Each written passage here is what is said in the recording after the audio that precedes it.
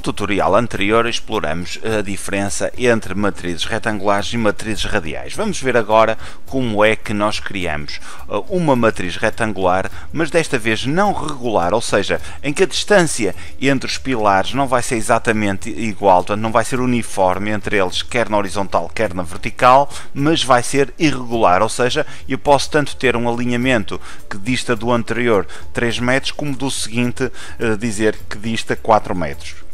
Então vamos ver como é que nós podemos uh, definir uh, esta distância uh, entre estes elementos de forma que eles sejam irregulares. Portanto, eu tenho aqui uma matriz radial, desculpem, retangular regular, portanto temos uma distância de 5 metros entre o V1 e V2 que é exatamente entre, igual à distância entre o V2 e V3 igual, exatamente igual a de V3 e V4 e depois a distância na horizontal entre o H1 e H2 que é 3 metros, que é exatamente igual à distância do H2 H2 e o H3 e por aí adiante. Vamos supor então que eu queria valores totalmente distintos de distâncias entre estes elementos. Para isso vamos começar por configurar a minha matriz estrutural, portanto tenho que vir aqui uh, no menu Ribbons a Drafting e de seguida clico em Properties e seleciono a opção Grid Lines. Ao selecionar a opção Grid Lines, ele vai-me abrir uma caixa de diálogo menos eu assim o esperava, uh, onde nós já conhecemos estes parâmetros que temos que definir. Um que nós não exploramos até agora foi este último que diz Uniform Step. Uniform Step quer dizer a distância entre cada um dos elementos estruturais, entre cada uma das linhas que compõem a minha matriz estrutural. Se eu desativar esta opção, reparem que ele vai-me bloquear a distância entre linhas da grelha horizontal e da vertical. Portanto, se eu clicar aqui, ele volta-me a ativar e já me permite alterar estes valores livremente. Portanto, isso quer dizer que eh, eu não estou a definir um valor uniforme, estou a definir um valor, eh, portanto, eh, passo a passo.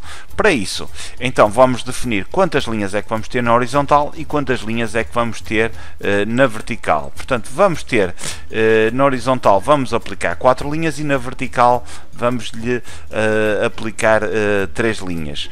Depois temos aqui as opções Step in Primary Direction e Step in Secondary Direction. Vamos ver então o que é que isto quer dizer. Atenção, peço desculpa, eu aqui tenho que pôr os valores exatamente ao contrário daquilo que eu penso. Nós temos que pensar ao contrário daquilo que, que aqui está.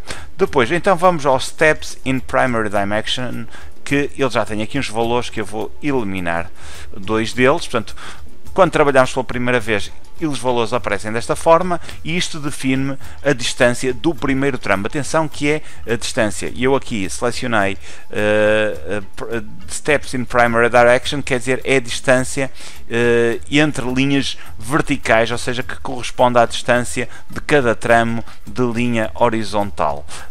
para isso, então, eu vou definir o primeiro tramo. O primeiro tramo eu vou lhe dar 5 metros, pode ser. De seguida, vou fazer Insert e no segundo já não vou dar 5 metros, vou dar 2 metros e meio. Vamos supor que temos aqui uma zona onde vai ter haver uma escada e aqui corresponderá ao, ao restante edifício. Faço OK e agora vamos configurar uh, a distância dos tramos na direção secundária, ou seja, na vertical. Então eu vou eliminar este valor que aqui está e vou dar ao primeiro valor 4 metros e se eu quero inserir um novo valor, faço insert e ele diz-me o segundo tramo e neste caso, em vez de 4 metros, eh, vou eh, optar por 6 metros. Faço novamente insert e no último deles vamos pôr aqui 4 metros e meio só para ser diferente, vamos pôr o valor uh, dos dois restantes. Portanto, eu tenho três tramos na vertical com 4 metros, 6 metros e 4 metros e meio, faço OK e de seguida faço OK. Configurei a minha matriz irregular, mas eu ainda não a inseri no meu desenho, para isso tenho que a inserir. Para a inserir só tenho que ir a Tools, Grid Lines e Place e de seguida aparece-me um retângulo a solicitar onde é que eu quero colocar a minha matriz estrutural, neste caso irregular. Portanto, basta-me agora clicar num ponto e imediatamente aparece a minha matriz estrutural devidamente configurada, em que temos a distância eh, entre as linhas verticais, que era eh, o, primeiro, o primeiro parâmetro que nós definimos, portanto tínhamos 5 metros e 2 metros e meio, e depois na vertical 4 metros, 6 metros, 4 metros portanto corretíssimo.